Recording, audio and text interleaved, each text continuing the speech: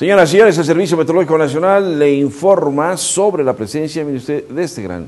frente frío número 24 que eh, se acompaña desde luego de bastante humedad y que dará origen a nublados con precipitaciones en la península y en el sureste mexicano de moderadas a ocasionalmente fuertes. La masa, la masa de aire frío, como usted la puede apreciar, domina el norte, el centro y el oriente de la República Mexicana con eh, pues, temperaturas realmente muy bajas en los estados del norte, bajas en el centro, así como en el oriente, y desde luego existe evento de norte norte de moderado a fuerte en el litoral del Golfo de México con velocidades enrachadas de hasta 80 kilómetros por hora y en, la, lo que es el Istmo y el Golfo de Tehuantepec que pueden llegar incluso a superar los 100 kilómetros por hora. Hay estar muy, muy al pendiente de este evento de viento. También observamos una entrada importante de humedad desde el Pacífico que se asocia a este gran frío y que dará lugar a precipitaciones de ligeras a moderadas para los estados del norte y que también existe el potencial de eh, nieve, algo de nevadas en zonas montañosas de Coahuila, Nuevo León, Tamaulipas, San Luis Potosí,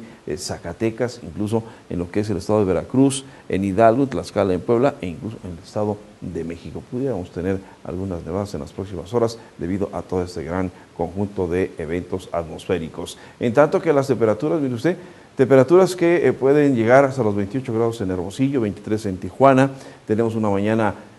pues de hecho, no solamente la mañana, la mayor parte del día muy limpio, muy despejado, muy soleado, con temperaturas de 27 en La Paz, en lo que es Chihuahua, desde luego el ambiente es muy frío, 13 de máxima y menos 3 a menos 6 grados la temperatura mínima y ahí esperaremos alguna precipitación ligera. Para el noreste y parte del centro de la República Mexicana también el ambiente es muy frío, observe usted las temperaturas mínimas en azul, menos 2 grados, 0 grados, 3 grados de temperatura mínima, las máximas pues no son nada alentadoras, le voy a decir, en Tampico 9, en San Luis 11, en lo que es eh, Zacatecas 16, cuando mucho, de verdad, con muy buena, muy buena intención, 16 de máxima en Zacatecas, pero que seguimos esperando un ambiente eh, nuboso y con algunas precipitaciones. También esperaremos que en el centro eh, y occidente de la República las temperaturas se mantengan en la escala de templado, las máximas, las mínimas son realmente muy frías, y hacia Manzanillo, observe usted,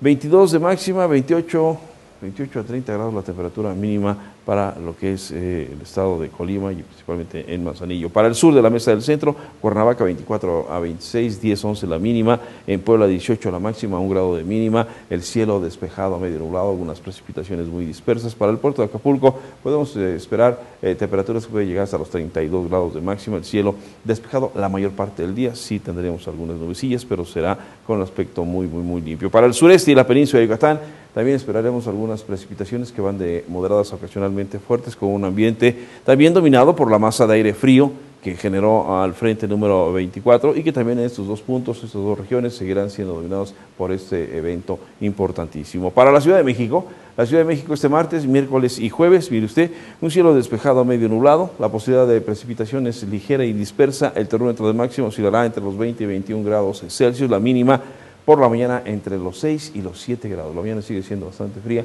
para la capital de la República Mexicana. Es lo más importante que le tenemos a ustedes del Servicio Meteorológico Nacional.